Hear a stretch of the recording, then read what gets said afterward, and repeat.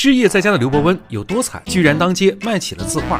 这位学长，你买扇子吗？可儿子刘脸是东拉西扯，拼了命的去拉客户。一下午过去，扇子是一把都卖不出。一旁卖烧饼的小贩跑过来一看，我是老吴啊。正在画扇的刘伯温一抬头，一段美好的回忆瞬间涌入脑海。刘大人吉祥，奉朝廷吩咐，我们俩给您送芝麻烧饼和鸭血汤来了。刘伯温笑呵呵的打招呼：“师傅，你是做什么工作的？”刘伯温瞅见卖烧饼的吴师傅，也是一阵哑然。吴师傅也懵了，这怎么堂堂的朝廷大员不干，跑来卖扇子？他这么一问，刘伯温才说：世风日下，伯温卖画，补贴补贴生活，这卖的还不如你的烧饼呢。刘大人，这也不行。吴师傅是明白过味儿来了。刘大人呢？您这是没打通下沉市场的痛点，不能适应朝堂的红海市场到市井的蓝海市场商业化运营变化。所以啊，咱们要转型到新零售平台来，让你看看我是怎么给产品赋能的。这一套小词儿都给刘伯温说懵了。接着，老吴拿着扇子就开始吆喝：“刘伯温大人亲临庙会，当场作画与民同乐。刘伯温大人字画价抵千金嘞，今日只售啊！”刘伯温一看，好家伙，这小套路，怪不得人家的烧饼能开成南京第一网红店呢。要不咱就一两一把。哦，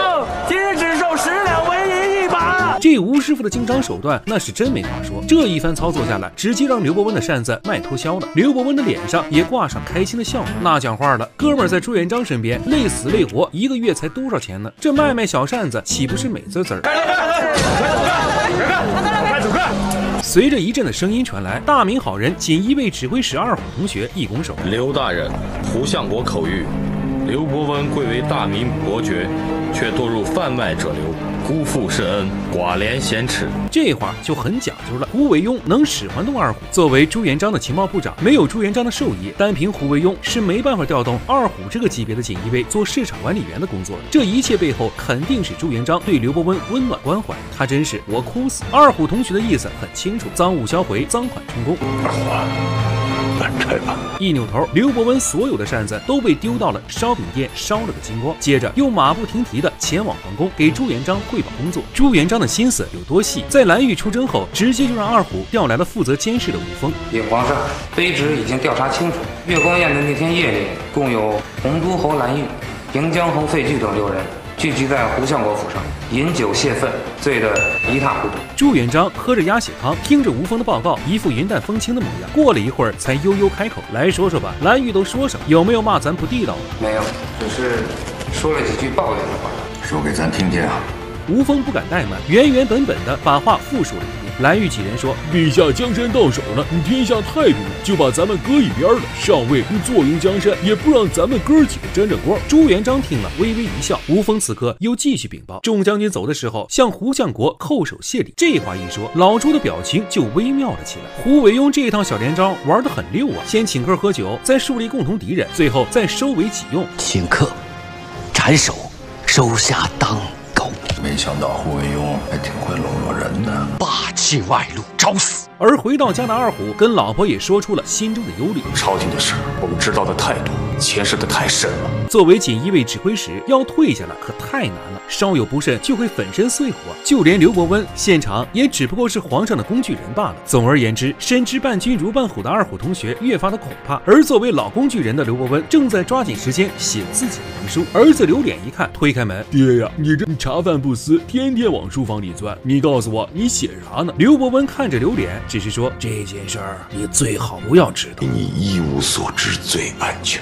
刘脸寻思，爹呀，你就是觉得我智商堪忧呗？刘伯温表示，这你自己说的，观众老爷们都看到了。同时，刘伯温也揭露了遗书的真相，只能藏之名山，以传后世。接着，刘伯温一抬眼就听见门口有动静，心里的小剧场瞬间写出了足足八千字的“君要臣死，臣不得不死”的小作文，心里默默的叹息了一声，这一天终于要来了。甚至还一边摇头一边叹气，非常丝滑的找地方跪好了，堪称大明贵族的典范了，属于是。结果却是二虎媳妇玉儿的倩影跑了进来，刘脸一看，爹，你跪着干啥呀？朱元璋给刘伯温造成了多大的心理伤害？倩儿推开门一看，刘伯温就在院子里跪好了，脸上更是带着视死如归的决绝。这一问，老刘就张嘴了，习惯了，只要门一响，臣就跪地接旨。接着玉儿招呼了一声，一堆太监抬着酒坛粮食就走了进来。这可给刘伯温整不会了。玉儿姑娘，你这样会惹上大麻烦的。玉儿笑笑不说话，心里讲话了：我充其量就是个后宫女官，老公也只是平平无奇的大明好人，我给你送物资不行，但他可以。说着，系着披风的马皇后缓现尘寰之中。刘伯温赶紧跟儿子跪下：什么叫救世主？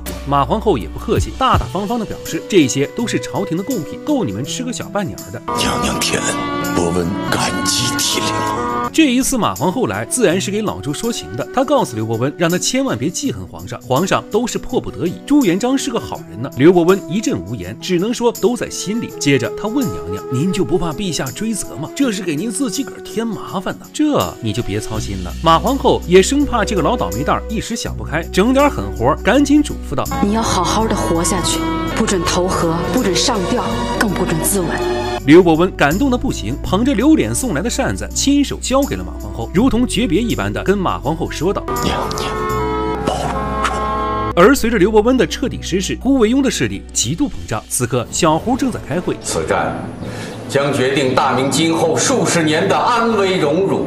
你们军械物资粮饷竟然拖延迟迟不到位，底下户部兵部的官员是战战兢兢，赶紧说：“现在大雪封山，根本过不去。”小胡是个狠人，根本不墨迹，即刻将点押官在队前斩首，然后用人扛马驮越过断道，将粮饷军械送到战地。同时还亲切地表示：“如果还过不去，下一个就斩你。”同时下旨缴税，各地有任何敢于抗缴的地主豪绅，一律咔嚓。同时有耐人寻味的表示，各省凡是完不成征调任务的贪官属吏，即刻罢撤，发往前方为卒。这句话是什么意思？通俗点理解，就是逼着官吏找老百姓要钱，也就是拉拢豪绅交税捐款，他们交了，才能让百姓跟着交钱。得钱之后，豪绅的钱如数奉还。百姓的钱三七分成，孙敏。而户部尚书吕敞也正等着胡惟庸的召见。此刻他算是看明白了，这办事效率还不如杨宪呢。如今胡相坐堂，茶是有了，可等的时辰它更长了。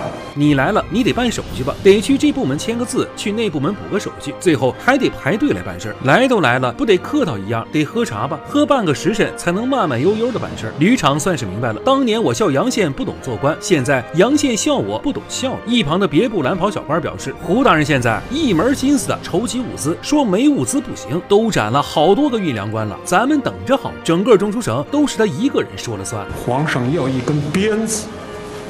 以鞭策各部，正贺朝野嘛。那么权倾一时的小胡能否听老师的话，保持低调？预知后事如何，欢迎长按大拇指为巨远充能。我们下期再见。